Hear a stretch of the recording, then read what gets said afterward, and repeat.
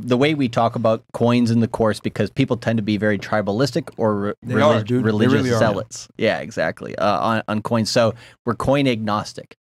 We will make money on any cryptocurrency that's out there. Right. Right. We, of course, in our portfolio, um, we give a breakdown of how to build a safe portfolio. We want at least 50% of your portfolio, if you're just starting in crypto, to be Bitcoin and or Ethereum. Yep. Right.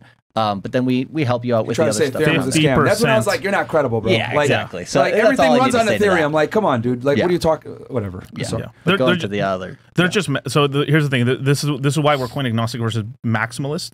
Is that a maximalist is just all in on one coin, Right. and basically, if you're buying anything else, you're taking food out of my mouth, Mm. and that, that's Yeah. and that's why they're mad. So it's like this is why the guys earlier were saying Bitcoin, not crypto.